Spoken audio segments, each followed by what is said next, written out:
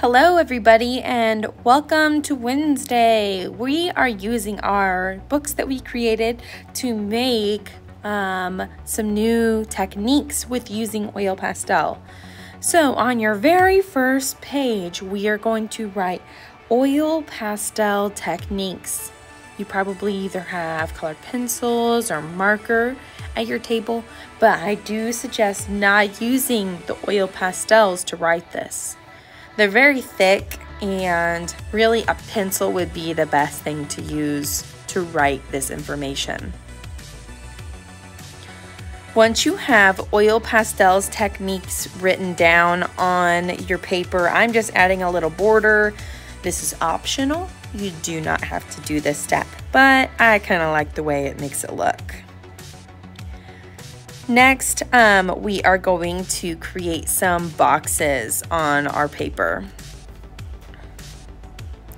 There's no right or wrong way of doing this. Maybe you want circles instead of boxes, but you have to have at least four, and I suggest using up all of your space on your paper to create four different sections. In these boxes, we are going to create some cool techniques or learn some new cool techniques using the oil pastels. So in the first box, what we will be doing will be using um, an eraser to create some eraser smudgings. So we're gonna write eraser smudging at the bottom of a box or at the top or somewhere near that box. This is just the box that I chose. You can choose any box that you would like. So that is spelled E R A S E R. Smudgings is S M U D G I N G. Eraser smudging. Next, you're going to pick a color um, of an oil pastel and you are going to draw some lines. And then you're going to take your eraser and we're going to move back and forth with the eraser to create this smudge. Now we're not completely erasing the lines, we're just adding this cool looking texture, this cool technique. You don't want to over work the eraser or you'll just erase most of the oil pastel. The next box, we are going to be doing a toothbrush smudging. Toothbrush smudging. Toothbrush is spelled T O O T H B R U S H. Smudging S M U D G I-N-G.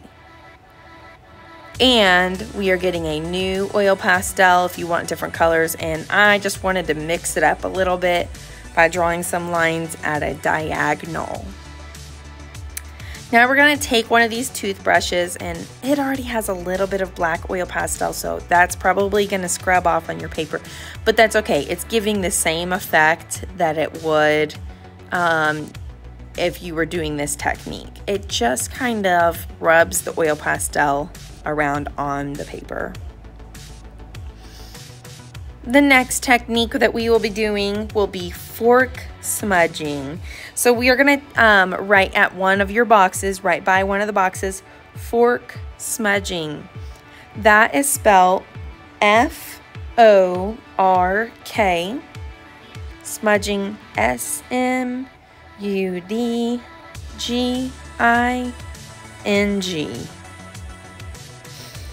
And we're going to stick with this whole line theme and draw some more lines. I am going horizontally this time. You can make your lines whichever way you want them to go, but I decided to go horizontally.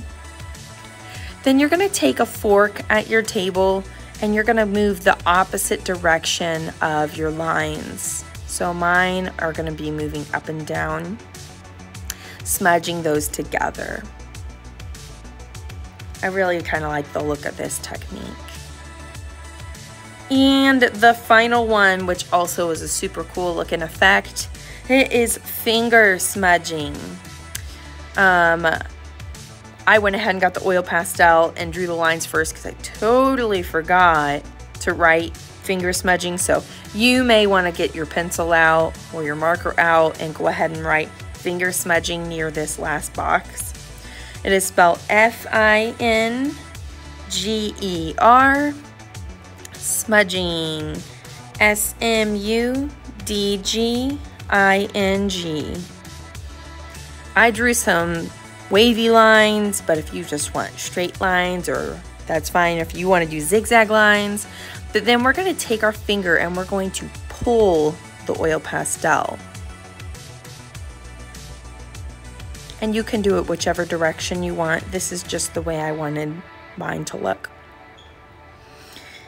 And these are the four different techniques. And I hope you enjoyed making these new techniques. And we'll put our books away.